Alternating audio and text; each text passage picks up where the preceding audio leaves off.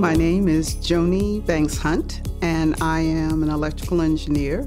My name is Kate Harper. My name is Susan Sewer. Deborah Dibble Boone. My name is Suzanne Hardy. I did a lot of package engineering and pharmaceuticals. My background is a mechanical engineer. My name is Cherie Gibson. I'm a great believer in an engineering education. The reason I'm here is I like to give back. I've spent some time trying to support other women going into technical careers, and I certainly spent a lot of my career mentoring other women.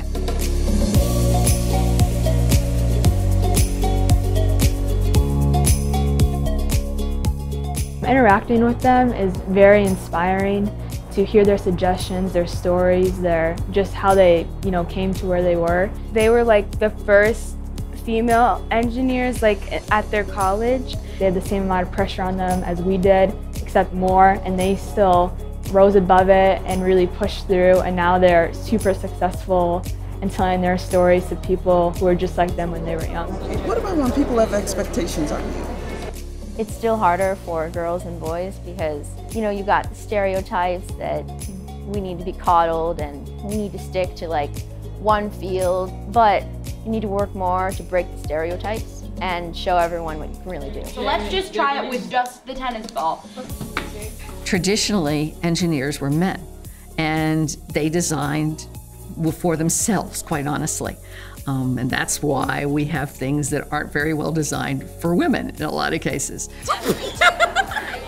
We need all kinds of people who are doing engineering and science and technology and mathematics. Diversity makes us smarter, it makes us stronger, it gives us different perspectives, it gives us options.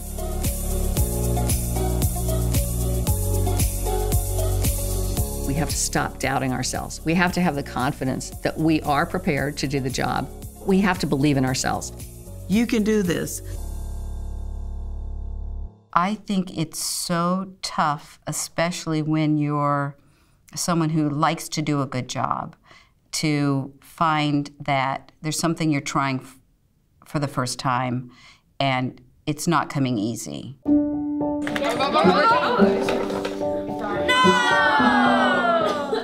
I never wanted to fail. I was like, that's how I was raised. But that failure is part of learning. Let's try this. You learn as much, if not more, from mistakes than you do from successes. Sometimes that mistake will tell you exactly where you need to be going. It's a lot of thinking of an idea, and the only way to know if it works is putting it to test, and if it works, it works.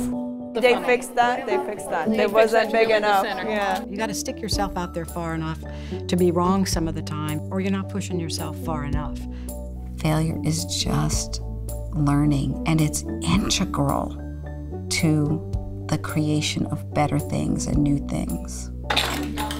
Yeah! yeah! Okay, okay, we're good. Did it work? Yeah,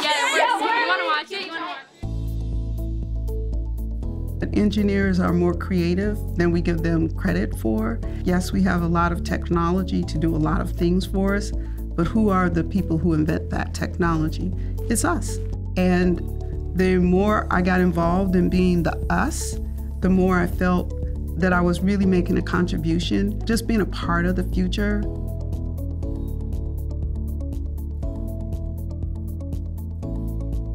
I'm living a happy life. I'm living a good life. It was the best decision I ever made for my life, was to study mechanical engineering, get that degree. It's led me to amazing places in life, and I'm so grateful for it. I never got bored, and actually, I, I had a blast. I really, it was a really fun career.